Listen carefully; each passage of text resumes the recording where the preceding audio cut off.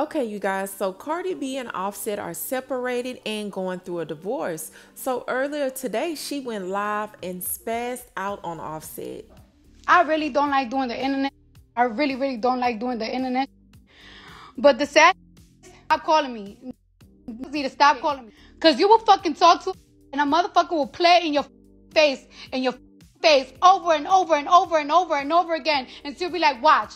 Watch what I'm about to do. Watch what I'm about to say. And it's sad that yo, this motherfucker like to play games with me when I'm at my most vulnerable time, when I when I'm not the most confident.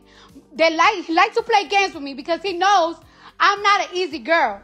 He, he knows yesterday I could have been out, I could have been chilling, I could have been this and that. He knows I'm in my house. He knows that I'm chilling. He knows I'm not doing the most. And I've really been sparing you.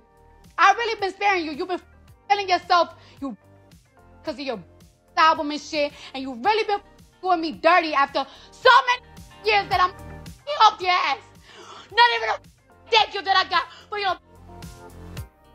And it's so crazy that I gotta go to the internet because whenever I tell you something, you don't take seriously. And I'm so tired of it. I'm so So when Nicki noticed all this was going on, she thought it was a good idea to poke fun at Cardi B's pain. So she posted MJ on her Twitter. Now, y'all know Offset loves MJ, okay? So this was in reference to him. Now Cardi B responded and she said, take your man to the park and leave me the F alone. I'm really a hundred today is not the day. And then Nicki sarcastically reposted her lyrics. Now she has a song out with Keyshia Cole and Monica called Love Me Enough. So it said, first things first, all my girls know your worth. Self-love is the greatest love on earth. Cry your eyes out, get it out. It's the worst, but love don't hurt. And then she said, Barb's trend, hashtag love me enough, hashtag gag city deluxe out now.